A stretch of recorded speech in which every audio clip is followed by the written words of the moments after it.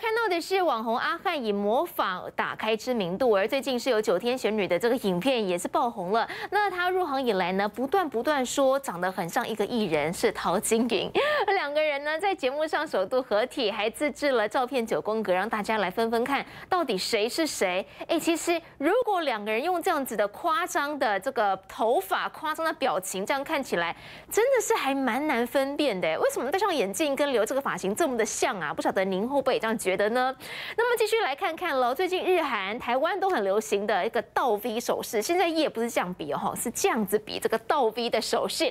很多人呢都拍照的时候会反过来比耶，很多人都在模仿嘛。那有搞笑艺人呢金正九，他也想要来跟流行，结果比着比着，他会发现，哎，这个肩膀痛痛的，为什么？原来是韧带好像受伤了，甚至还要复健四个礼拜。让他发文呼吁了，哎，如果身体不够好，不要跟流行哦，甚至还说。流行标准可不可以降低一点点呢？今天是国际护理师节，要跟广大的护理师们说声辛苦了。但是本土疫情持续的攀升，今年对于基层医护来讲，真的是最最辛苦，也是最最痛苦的一次护师节了。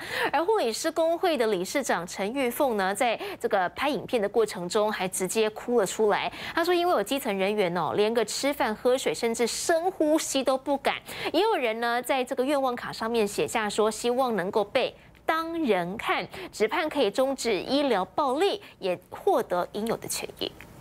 在病房就是住院确诊之后，那医院没有把这个确诊的病患跟其他的病人隔离，然后没有做环境清消，导致呢病房呢有一半的病患确诊，然后之后更陆续爆出更多个单位的护理师感染，然后医院也变成他们认为的大屠库。那他在值班的时间是不敢进食，也不敢喝水，连深呼吸都不敢。他说他绝望，说这个真的是工作生涯最失望的一次。谁来救救病房跟护师？今年的护士节，他们很失望，而且很多人其实是泪洒在这个脸上跟心里面的。然后我们也看到我们的会员是妈妈，她这个被居隔，然后她小孩也确诊，然后她却不能照请假去照顾他。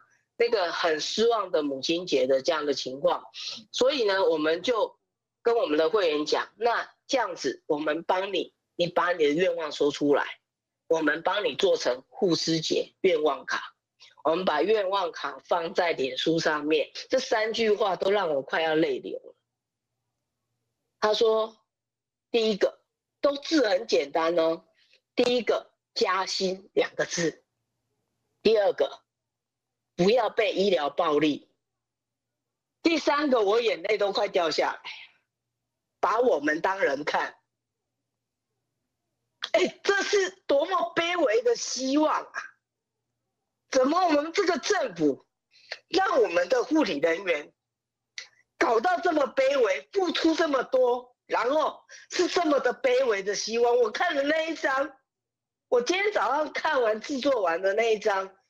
我真的觉得我很难过，很心酸。我怎么会我们的护理人员的希望这么的卑微，把我们当人看呢？如果您经常就晚上啦睡不着觉啦，您很想要睡的时候身心放松啦，就会很需要这一瓶哦茶氨酸来调节情绪，同时还可以增强您的抗压能力。